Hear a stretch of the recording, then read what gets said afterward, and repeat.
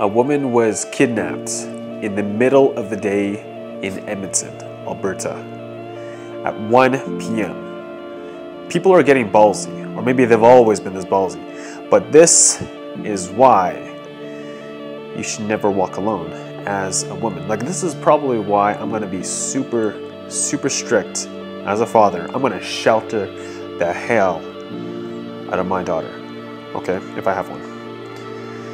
And this is probably why my auntie is always getting mad at my cousin for walking alone with her dog. Right? I now understand. This shit can happen any time of the day. You always think that's gonna happen at 1 a.m., 2 a.m., like sometime after midnight. But no, this can happen at 1 p.m., right? Or 12, or something like that.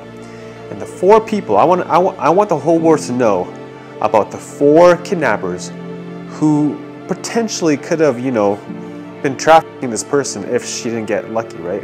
She managed to contact someone that she knew while they had her in the car. Right? So the four people's names are as Wyatt Daryl Fiddler, Guy Edward Delorme, Kaylee Sunshine, and Cameron Gia Lawrence.